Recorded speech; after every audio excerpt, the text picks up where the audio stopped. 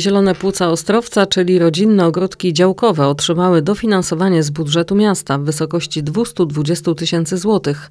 Dofinansowanie pozwoli na ich rozwój oraz przyczyni się do wzrostu zainteresowania mieszkańców taką formą spędzania czasu wolnego. W Ostrowcu Świętokrzyskim jest 11 ogrodów działkowych, więc łatwo policzyć, że same ogrody działkowe prosiły, żeby ten rok był pilotażowy i żeby wszyscy dostali porówno, nie patrząc na wielkość e, samych ogrodów i na liczbę członków, żeby każdy mógł przećwiczyć nawet e, składanie wniosku, rozliczenie przede wszystkim, bo to chyba jest e, najbardziej tak technicznie potrzebne ogrodom.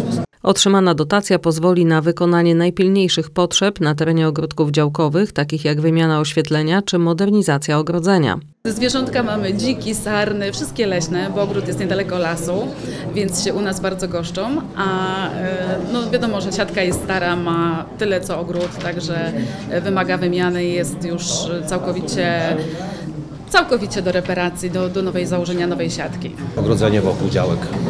Po prostu jest w stanie opłakanym i dlatego chcemy wymienić na nowe. Miejsc, w których można spokojnie i bezpiecznie odpoczywać od zgiełku miasta jest coraz więcej, jednak ogródki działkowe, dzierżawione z możliwością własnej aranżacji oraz swobodnego użytkowania, darzone są coraz większym zainteresowaniem nie tylko przez starszych, lecz także coraz młodszych użytkowników.